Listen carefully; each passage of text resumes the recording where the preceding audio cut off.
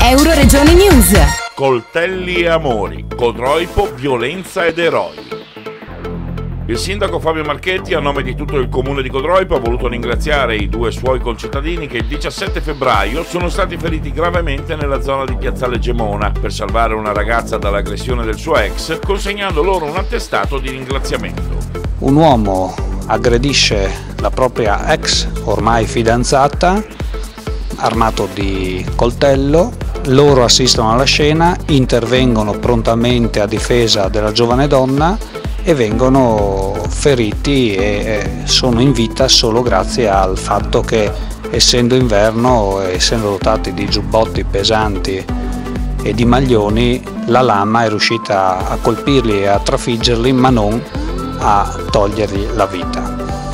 L'amministrazione comunale ha inteso conferire un attestato simbolico per ringraziare a nome di tutta la cittadinanza questi due giovani per il nobile gesto coraggioso a difesa dell'eterno valore della vita.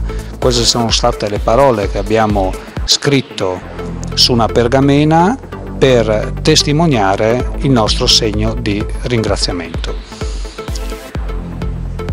Ho iniziato il mandato nel 2011 con un parricidio, abbiamo continuato nel Medio Friuli con un femminicidio molto grave, tra l'altro di una ragazza che era di Codroipo e il mio pensiero era stato rivolto proprio a questi due ragazzi, se ci fossero state due persone, due uomini come eh, questi due giovani probabilmente avrebbero sventato, chi lo sa, eh, quegli omicidi.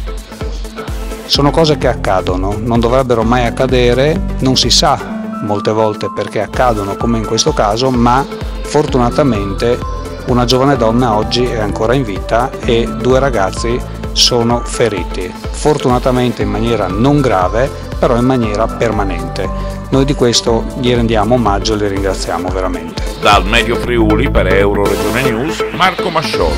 Euro Regione News.